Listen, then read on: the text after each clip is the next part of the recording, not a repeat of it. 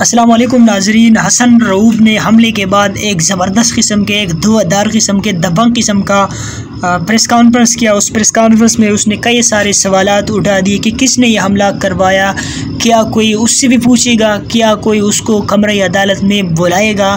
حسن روب نے میڈیا کے سامنے آ کر رو پڑے اور بہت سارے سوالات اٹھا دیے۔ حملہ کس نے کروایا اور حسن روب نے پریس کانفرنس میں کیا کہا؟ مکمل اپڈیٹ مکمل اپڈیٹ آپ لوگ کے ساتھ، تفصیل کے ساتھ شیئر کریں گے، لیکن اس سے پہلے آپ سے ایک چھوٹی سی گزارش ہے۔ ناظرین، چھوٹی سی گزارش ہے کہ اس چھوٹے سے چینل کو ضرور سبسکرائب کیجیے گا۔ ناظرین، کل حسن روب پہ حملہ ہوا اور اس نے آ کر پریس کانفرنس میں بتایا کہ دو تین دن پہلے میں ایک ٹی وی شو میں جا رہا تھا، مجھ پہ حملہ کرنے کی کوشش کیا گیا۔ مجھے دھمکیاں دی مجھے گالیاں دی اور میں نے سب کچھ اگنور کیا۔ میں سب کچھ چھوڑ کے آگے چلا گیا اور گاڑی میں بیٹھ کے میں نے نکلنے کی کوشش کی اور میں اس میں کامیاب ہو گیا اور میں وہاں سے نکل گیا۔ لیکن کل جب میں جا رہا تھا تو پھر میرا پیچھا کیا گیا اور میرے اوپر حملہ کیا۔ مجھے کمپلیٹلی دل سے جان سے مارنے کی کوشش کیا گیا اور میرا گلا کاٹنے کی کوشش کیا۔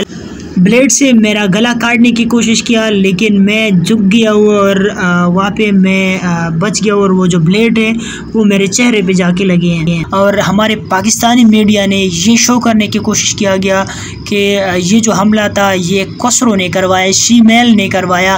حالانکہ اس ویڈیو میں جب وہ ویڈیو وائرل ہو گئے تو اس میں دیکھا جاتا ہے کہ ٹھیک ٹاک قسم کے تکڑی قسم کے وہ آدمی تھے تین چار۔ اور ایک ریکارڈنگ پر معمول تھا اور تین بندوں نے حملہ کیا۔ ناظرین پریس کانفرنس میں حسن رعوب صاحب نے بتایا کہ کیا کوئی پوچھے گا اس سے جنہوں نے حملہ کیا، کیوں حملہ کروایا گیا؟ پاکستان تحریک انصاف جو کہ پاکستان کے ٹو تھرڈ میجارٹی کے ساتھ جیت چکے ہیں مینڈیٹ لیا ہے لوگوں نے، ان پہ اعتماد کیا ہوا ہے، اس کے ترجمان پہ حملہ، یہ پاکستان پہ حملہ ہے۔ اور کیا کوئی اس سے پوچھے گا، کیا کوئی اس کو کمرہ عدالت میں بلائے گا؟ نہیں، ایسا کیوں ہو رہے ہیں؟ کیوں، کس بنیاد پہ یہ ساری چیزیں کرنے کے کوشش کیا جا رہے ہیں؟